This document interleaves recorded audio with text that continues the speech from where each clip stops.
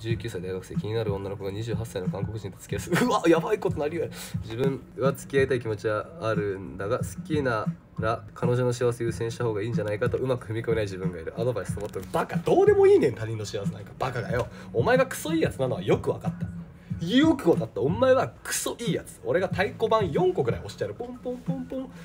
でもよ。お前の人生はお前の人生やけん。行ったれお前。そんなお前後で後悔するぜ。行って負けて帰ってくるのと行かずに負けるのは全然違うよ。全然そこの差は01あるけん。行かずに負けるぐらいなら行って負けて帰ってこい。その気にするな。お前が幸せにしてやれよ。そもそも。なんでお前は幸せにしてやる自信ないねん。おかしいやろ。俺が幸せにしてやれ。ええやんと思ってお前が行けばいいやん。なんで相手なんかそのよくわからん28歳の韓国人に幸せ委ねてんねん。わからんよそいつが。めっちゃ DV かもしれんやろ。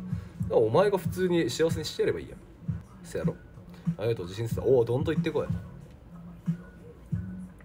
今日そう結婚してないなら全然。アタックできる。